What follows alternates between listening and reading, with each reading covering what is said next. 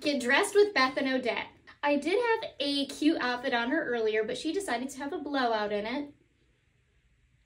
So change of plans. Let's start with her. Black pants, kitty cat onesie. Favorite piece is jean jacket. It is literally my dream to match my outfit with my daughter. So here we go. I put on this bow to match. I was gonna go with the ponytail. I feel like the bow fits the outfit. Okay. Now for me. Black pants, my go-to knockoff skim shirt, and the best part to match her, jean jacket. Okay, final look. I decided to go with the Converse instead of the mom shoes because we're going on a walk.